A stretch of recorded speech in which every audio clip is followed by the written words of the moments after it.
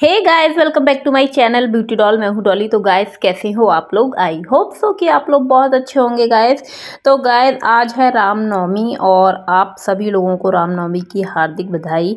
और यहाँ पर आप देख सकते हैं कि सभी छोटी छोटी प्यारी प्यारी कन्याएँ हैं। और आज जो है, हम बहुत ज़्यादा स्पेशल जगह जा रहे हैं। तो ब्लॉग ज़रूर लास्ट तक देखिएगा। और वीडियो पसंद आए तो वीडियो को ज़रूर से लाइक कर दिया करो। और चैनल पर नए हैं तो चैनल को सब सब्सक्राइब कर लें और यहाँ पर हम काफ़ी लोग हैं गाइस क्योंकि आज हम सब लोग सुबह से आ, कहीं जा रहे थे जैसे कि मैंने कहा काफ़ी स्पेशल जगह जा रहे हैं। और मेरे साथ मेरी मम्मी है मेरी बड़ी वाली नंद है मेरे हस्बैंड है। और यहाँ से हम लोग सारी छोटी छोटी जो भी कन्याएँ थी सबको लेके जा रहे थे। और गैस आज सुबह से कन्याएँ मिली नहीं रही थी बड़ी मुश्किल से मिली हैं बहुत ही मुश्किल से मिली हैं। लेकिन बहुत मतलब पुराना जो काम था, वो आज हमें करना था। तो इसलिए सोचा कि चलो हस्बैंड को छुट्टी है। वैसे तो हम लोग ये सोच रहे थे कि नौ देव मतलब नौ दुर्गों में ही हम लोग कन्या जो है, कन्या भोज करा देंगे। लेकिन क्या था ना, मेरे हस्बैंड को टाइम नहीं मिल पा रहा था। तो इसलिए जब लास्ट मोमेंट पे उनको टाइम मिला और वो भी रामनवमी के दिन टाइम मिला तो इसलिए फिर हम लोग कुछ भी बिना सोचे समझे बस कन्याओं को ढूंढा और बस चल दिए अपने मुकाम की तरफ़। और यहाँ पर हम लोग आ चुके हैं गाय मंदिर।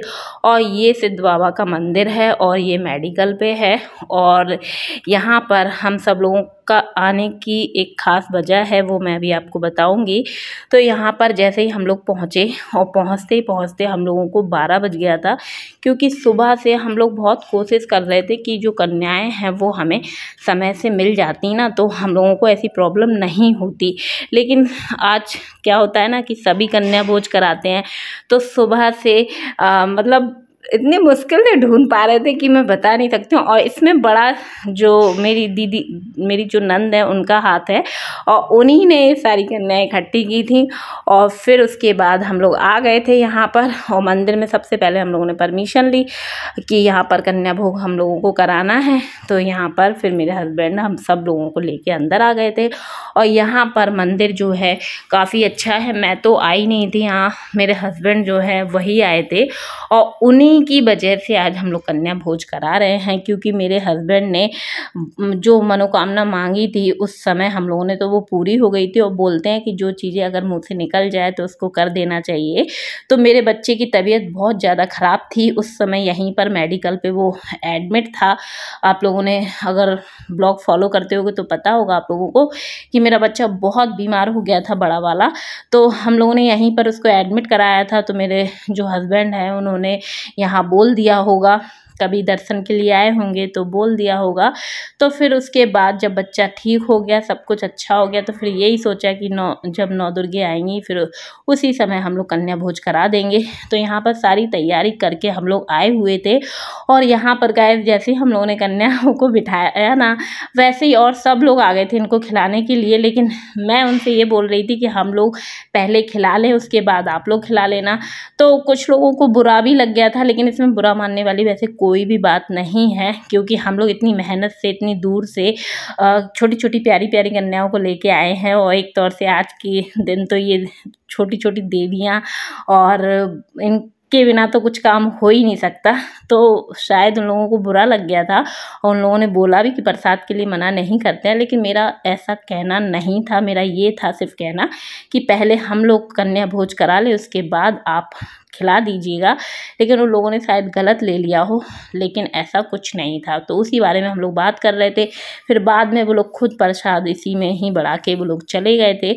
और यहाँ पर मेरी दीदी और मैं बराबर से अच्छे से सब लोगों को पहले मैंने यहाँ पर सबके बाहरी पैर धुला दिए थे, फिर उसके बाद यहाँ पर बिठाया, टीका वगैरह लगाया, फिर उसके बाद उनको प्रसाद वगैरह दिया और मेरे जो हस्बैंड हैं, वो यहाँ पर अपनी पूजा वगैरह करके और यहाँ पर नारियल वगैरह फोड़ रहे थे और बहुत खुश थे हम लोग और वाकई में ऐसा कोई काम होता है ना तो मन को बहुत ज़्यादा शांति होती है और बहुत ही अच्छा लगता है। मुझे ये सारे काम करना वैसे बहुत ज़्यादा पसंद है और जब जब ये मौका मिलता है तो हम लोग भरपूर आनंद के साथ ये काम करते हैं और यहाँ पर बैठे बैठे मेरे हस्बैंड नारियल फोड़ रहे थे और जो पूजा थी वो उनकी समाप्त हो चुकी थी और एक साइड हम लोग खाना पीना मतलब जो भी कन्या भोज था वो करा रहे थे और सारी कन्याएँ जो थी, उनका इतना पेट भरा हुआ था। और जब मैं छोटी थी ना, मुझे अपनी चीज़ें पहले याद आ जाती हैं, और जब मैं भी छोटी थी ना तो सारी आंटियाँ ऐसे पीछे पड़ी रहती थी, और हम लोग एक घर से निकलते थे, दूसरे घर में बैठ जाते थे, दूसरे घर से निकलते थे, तीसरे में। और चाहे भले खाते नहीं थे, लेकिन हम लोगों को गिफ्ट का और पैसों का उस समय छोटे छोटे रहते हैं तो बहुत लालच रहता है कि चलो कुछ ना कुछ मिलेगा। और बहुत अच्छा लगता था बचपन याद आ जाता है जब कोई भी काम इस टाइप का हम करते हैं। और इसी हिसाब से जैसे कि मैं समझ सकती हूँ, मैं जब उन्हें कुछ दे रही थी तो वो यही बोल रही थी कि आंटी पेट भरा हुआ है। लेकिन हाँ जितना भी खाया उन्होंने बहुत प्यार से, बहुत अच्छे से और बहुत मन से खाया और जो काम हम लोग कराने आए थे, वो काम हम लोगों का, आज फाइनली हो गया था। और मंदिर जो है, वो बहुत ही अच्छा बना हुआ था। भाई, मैं तो फ़र्स्ट टाइम आई हूँ। मैं यहाँ पर कभी नहीं आई हूँ, क्योंकि मेरे घर से तो काफ़ी दूर है।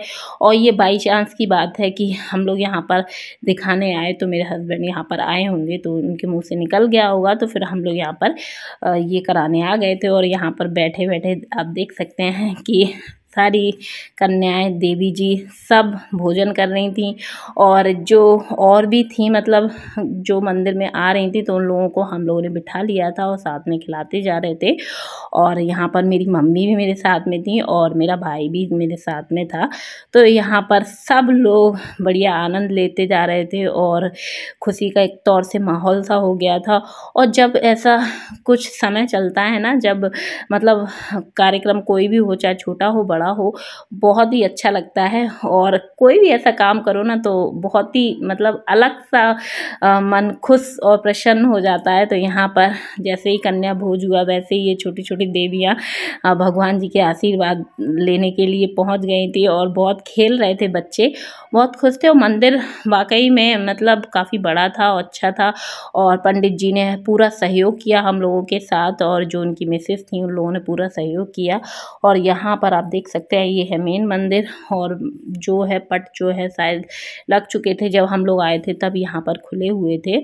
और बच्चे इधर उधर घूम रहे थे तो मैंने कहा कि सब लोग इकट्ठे हो जाओ और यहाँ पर सबसे पहले दीदी ने आशीर्वाद लिया। और मेरी जो दीदी हैं, वो हम लोगों का बहुत ज़्यादा सपोर्ट कर देती हैं और क्योंकि मेरे को थोड़ी बहुत जानकारी जो नहीं भी होती है ना तो उसके बारे में भी दीदी वगैरह बता देती हैं मुझको।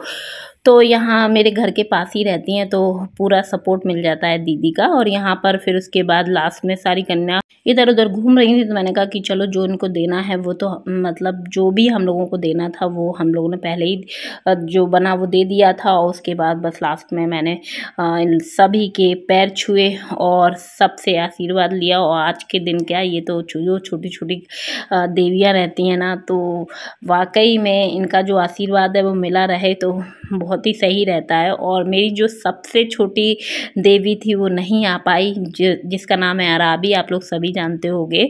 और वाकई में मतलब उसको ले, लेके आने का तो बहुत था, लेकिन उसकी तबीयत एट अ मोमेंट ख़राब हो गई थी, उसको फीवर आ गया था, वरना उसके बिना तो कोई काम होता ही नहीं। और वो सबसे छोटी देवी थी तो वो नहीं आ पाई और इसका मुझे तो दुख भी है। खैर, उसकी तबीयत सही नहीं थी तो इसलिए फिर हम लोग नहीं लाए और यहाँ पर फिर यशवी ने सिद्ध बाबा जी का आशीर्वाद लिया और फिर उसके बाद हम लोग निकलने की जो है वो तैयारी में थे क्योंकि लेट काफ़ी हो गए थे और फिर मैंने भी यहाँ पर आशीर्वाद लिया और सभी की पूजा हो गई थी, सभी ने आशीर्वाद ले लिया था, सबसे लास्ट में मैंने लिया था। फिर उसके बाद हम लोगों ने कहा कि चलो अब चलते हैं क्योंकि काफ़ी देर हो गई थी और जैसे ही हम लोग बाहर की तरफ़ आने लग गए थे तो बाहर आप देख सकते हैं कि बहुत ही अच्छा मतलब माहौल था, धूप धूप ज़रूर थी, लेकिन पेड़ के नीचे की जो हवाएँ मिल रही थी ना तो बहुत अच्छा लग रहा था। लेकिन हम लोग जिस ऑटो ऑटो वाले को करके लेके आए थे, क्योंकि मेरा भाई था नहीं तो गाड़ी से हम लोग आ नहीं पाए तो इसलिए फिर ऑटो से आ गए थे और ऑटो जब करके लेके आए हैं ना तो वो जाने पता नहीं कहाँ चला गया था। उसके चक्कर में हम लोगों को आधा घंटा वेट करना पड़ा और टाइम जो है वो हमारा बर्बादी हो गया था। फिर हम लोग यहीं पर थोड़ी देर वेट करते रहे उसका और उसका नंबर जो था वो मेरे हस्बैंड के पास नहीं था किसी और के पास था तो उससे फिर नंबर लिया, तब जाके इसको बुलाया। तो ऐसे में समय जो है वो बर्बाद हो गया था। जितनी जल्दी मंदिर से फ्री हो गए थे, उतना ही उसने लेट कर लिया था। लेकिन कभी कभी ऐसा हो जाता है और इन सब चीज़ों के लिए हम लोग ऑलरेडी तैयार ही रहते हैं। और यहाँ पर मैं सबसे बोल रही थी कि चलो सारी देवियाँ मेरे यूट्यूब फैमिली से हाय हेलो कर दो। तो यहाँ पर ये छोटी छोटी प्यारी प्यारी जो देवियाँ थी, वो सब हमारे जहाँ हम लोग रहते हैं, वहीं से लेके आए थे। वहीं उसी एरिया की थी और ज़िम्मेदारी से हम लोग इनको लेके आ गए थे और ज़िम्मेदारी से इनको छोड़ेंगे इनके घर तक और इनके साथ मेरे बच्चे भी थे और एक और था तो तीन लंगूर थे और बाकी सब कन्याएँ थीं। तो यहाँ पर जो भी सामान हम लोग लेके आए थे, सारा सामान हम लोग लेके आ गए थे। किसी भी प्रकार की कोई दिक्कत, समस्या नहीं हुई थी। जो जो सामान लगना था सब ले आए थे। तो ये सारा सामान फिर ऑटो में रखवा दिया था। बस वेट हो रहा था ऑटो वाले का। और यहाँ पर मैं आपको दिखाती हूँ कि मंदिर किस तरीके से बाहर से लगता है। काफ़ी अच्छा था। और फिर उसके बाद थोड़ी देर हम लोगों ने वेट किया। यहीं पर सब लोगों ने गन्ने का जूस भी पिया। और जब थोड़ा थोड़ा ठंडक महसूस हुई, उसके बाद थोड़ी सी तसल्ली हुई। और वैसे भी जब कोई काम करते हैं ना और इस टाइप का कोई काम होता है ना तो ना सर्दी लगती है, ना गर्मी लगती है, बस काम में ही मन लगा रहता है। बस थोड़ा सा ऑटो वाले ने परेशान कर लिया था, लेकिन हाँ काम सारा अच्छे से हो गया था। फिर उसके बाद गए हम लोग बैठ गए थे सब लोग ऑटो में।